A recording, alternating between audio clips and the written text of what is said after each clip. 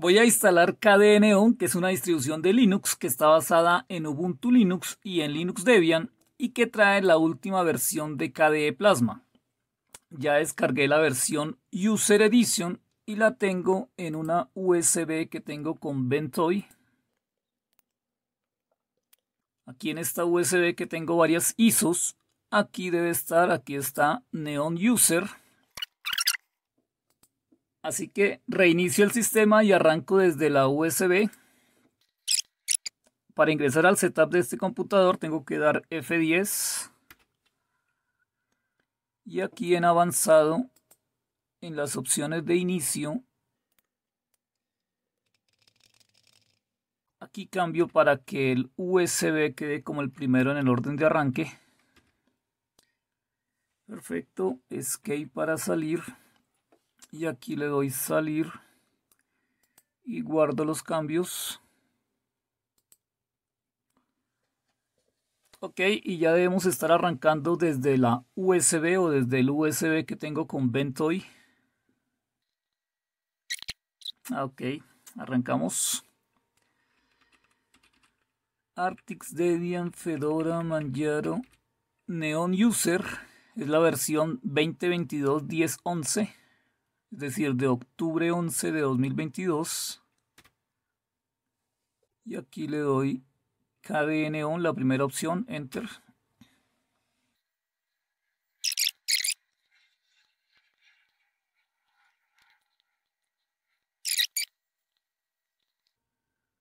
Ok, perfecto. Tenemos KDE Neon con KDE Plasma. El escritorio KDE Plasma System Info Center. La versión de Plasma es la 5.26. Perfecto, entonces empezamos la instalación con un clic en Install System, que es el instalador Calamares, así que va a ser muy sencillo. Seleccionamos el idioma en español español de México o español de España. Español de México, pongamos siguiente. Estoy en Bogotá, en Colombia. Siguiente.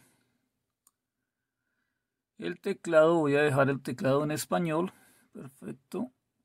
Siguiente. También podría ser español el teclado latinoamericano. Pero yo utilizo el teclado en español. Ok, sigue el particionado del disco. En este computador tengo varias instalaciones, varias distribuciones. Tengo Windows 10 y tengo ya unas 5 o 6 distribuciones. Observen, aquí aparece Manjaro, MX, Linux Mint, Debian, Ubuntu, otra versión de Debian, otras versiones de Ubuntu. Así que tengo que hacer un particionado manual Aquí le doy la última opción, particionado manual y doy siguiente. Y voy a borrar una de estas instalaciones. Perfecto, aquí está entonces. Tengo dos discos duros, el disco o la disco SDA con 16 particiones. Y debería estar el disco SDB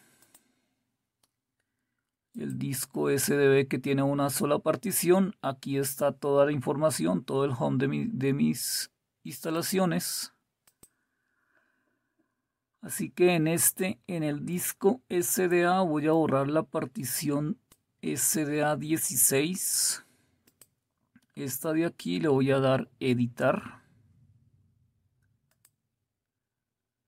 Voy a decirle que la quiero formatear que sea un sistema de archivos ext, el punto de montaje va a ser la raíz. Y no necesito nada más. Fs label, pongámosle aquí para acordarnos que va a ser neón. Ok. Y nos aseguramos por ejemplo que la partición número 2 Voy a darle a editar. Esta es la partición del EFI.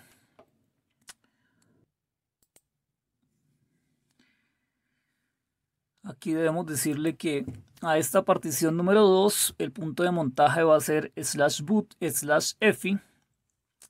Importante es que no debemos formatear esta partición número 2 porque aquí también está la información del boot tanto de Windows como de los otros sistemas Linux. Así que en caso de que falle, podría ingresar a alguno de los otros sistemas y arrancar eh, o volver a reinstalar el grupo o algo así. Entonces, importante a esta partición número 2 en content darle conservar. Para el caso mío que estoy haciendo una o estoy instalando Linux en un sistema que ya tiene muchas instalaciones, muchas distribuciones. El punto de montaje entonces es slash boot slash efi. Y aquí le damos OK. Y también podemos utilizar la swap. Esta de aquí, vamos a ver si se deja editar. No, no quiero darle formato porque si le doy un formato aquí es posible que me cambie el, el nombre, el UID o el identificador. En algunas distribuciones él encuentra eh, la swap y la utiliza en otras instalaciones o en otras distribuciones Linux. Eh, crea un swap file Así que vamos a ver cómo termina esta instalación. Y perfecto, tabla. Creo que es todo lo que hay que decirle. Esas dos particiones vamos a modificar y damos siguiente. Dice que la partición EFI está configurada en forma incorrecta. Creería que la configure bien.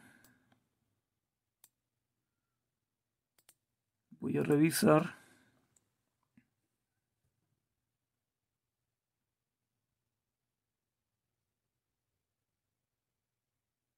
Boots. Pongámosle este otro, no creo que se necesite, pero le dejé las dos banderas. BIOS Group y Boots. Conservar. De nuevo, siguiente. No.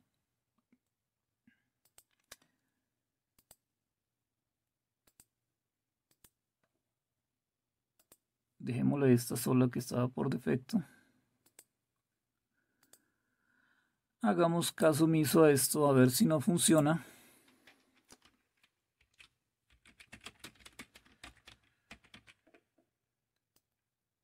Nombre que se puedan que admite espacios.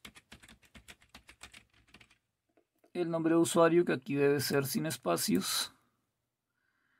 El nombre de la computadora vamos a decir que sea neón el password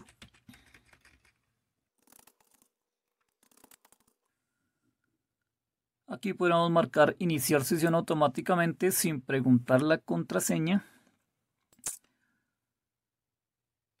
Vamos a dejarlo desmarcado para probar.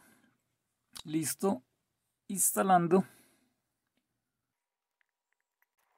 Instalando KDE la versión de octubre 10 de 2022, en este computador de marca Hewlett Packard de referencia ProBook 430G3, que trae un procesador Intel Core i5 de sexta generación y tiene 8 GB de memoria RAM.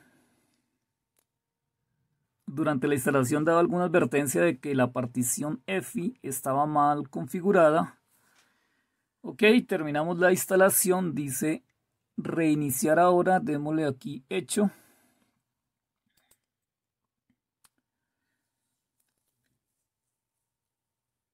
Aunque si no hago los cambios se supondría que volvería.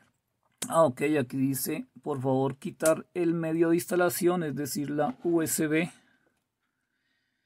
Quitamos la USB de Ventoy y damos enter. Enter.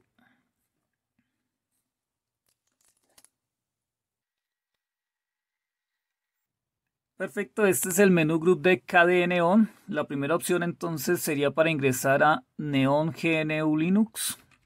Y aquí veo que detectó Linux Mint, Debian, Ubuntu, Debian, Ubuntu, Windows también lo detectó. Perfecto, entonces vamos a ingresar a KDN y damos la contraseña centro de información KDE 5.26 KDE Plasma.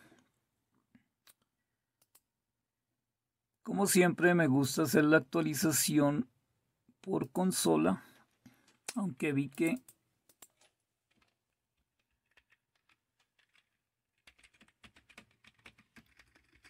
ok sudo apt update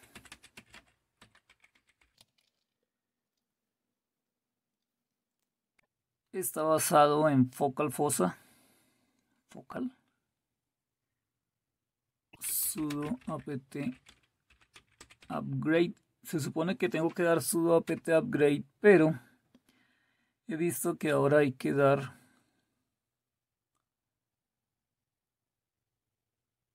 Dice, en KDNeon you should use. En KDNeon debemos utilizar pk con update to install updates. A ver. Pk con updates. Ah, yes. Ah, y ahora sí me pide la contraseña.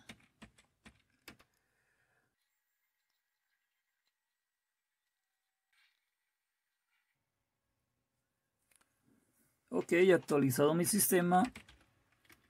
Voy a dar un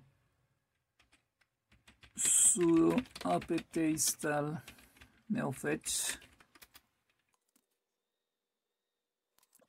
Y aquí damos un neofetch.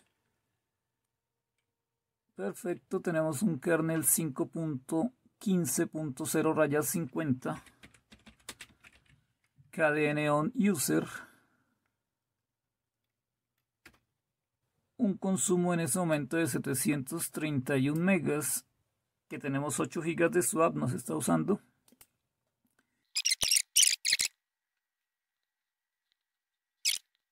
Bill Hewlett and David Packard. Y aquí tenemos nuevamente el group. He visto que este grupo o los grupos de Linux Debian no funcionan muy bien con Manjaro. Si intento, por ejemplo, arrancar Manjaro, casi siempre me da o se me queda bloqueado el sistema en el logo de la marca. No importa cuánto tiempo espere, creo que el equipo se queda bloqueado. No responde. Así que la única solución que he encontrado es dar un reinicio o forzar el, apagado, prenderlo nuevamente.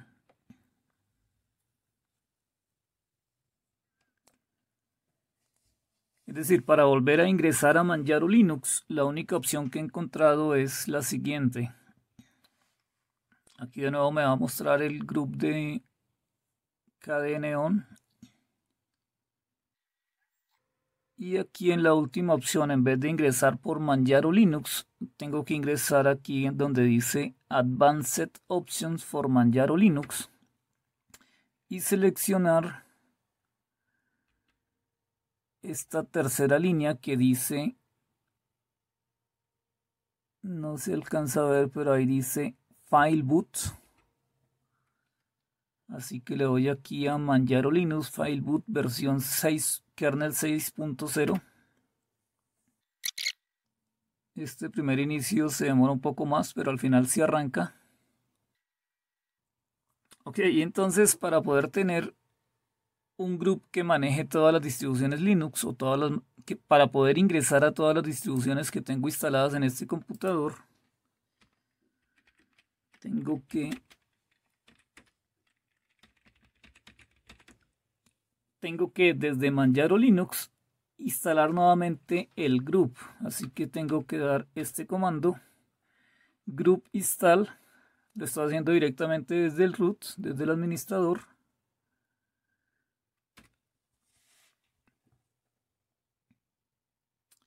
Y luego de eso tengo que actualizar eh, con este comando actualizo nuevamente, o sea, para que el grupo de Manjaro vuelva a revisar o a actualizar y encuentre nuevamente todas las distribuciones Linux que están instaladas.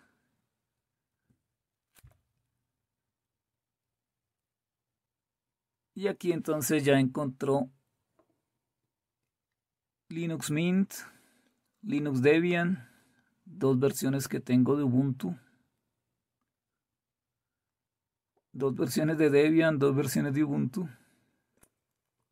Y aquí encontró KDE en SDA16. Ok, entonces ya con eso, exit, exit.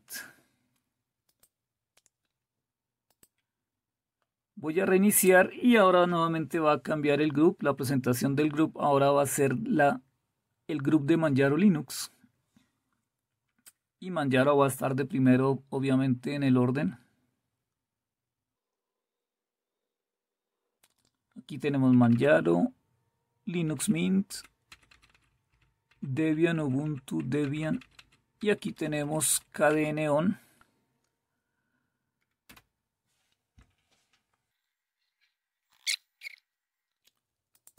Nuevamente KDE On 5.26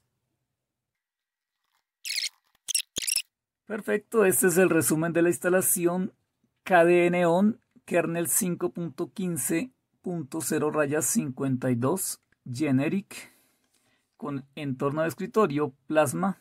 El Windows Manager es KWin. Tenemos un consumo de 919 megas de los 7.3 gigas que tenemos disponibles.